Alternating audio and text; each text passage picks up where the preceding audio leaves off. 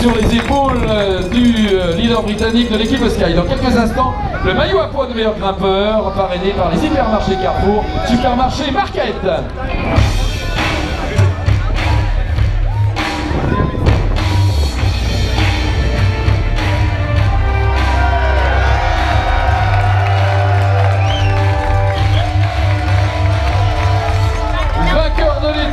9 au général, et meilleur grimpeur de ce Tour de France, Warren Barguil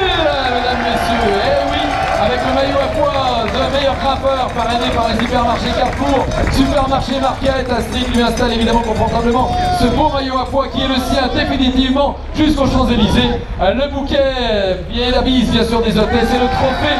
des hôtels ce Carrefour à Warren Barguil, regardez l'émotion, le bonheur du jeune champion, breton âgé de 25 ans, il était parti avec des questions dans la tête, il n'a que des certitudes, il fait partie des tout meilleurs du peloton cycliste professionnel. Warren Barguil, allez le public s'il vous plaît, encore quelques applaudissements. Ah, il le goûte avec plaisir ce podium félicité par Jean-Marie Bernard dans quelques instants, qui lui dit que les Hautes-Alpes évidemment sont son, euh, ce département d'adoption euh, dans lequel il peut revenir quand il veut. Philippe Chabron également, euh, Chantal Emeyou, Mathieu Vraiment, Patrick Ricou, son excellence euh, Federico euh, pour euh, bien sûr le côté euh, des collectivités territoriales, Stéphane Champagne, directeur en scène et Michel Mathieu, directeur général d'Excel, Nicolas Seguin, David Descoda Auto, euh, Charles Rougier, responsable du sponsoring Carrefour, Pascal Dermillier, opticien Chris, et Julien Ternizien, directeur des acquisitions euh, de l'Eurovision, euh, qui félicite à leur tour Warren Barguil, le point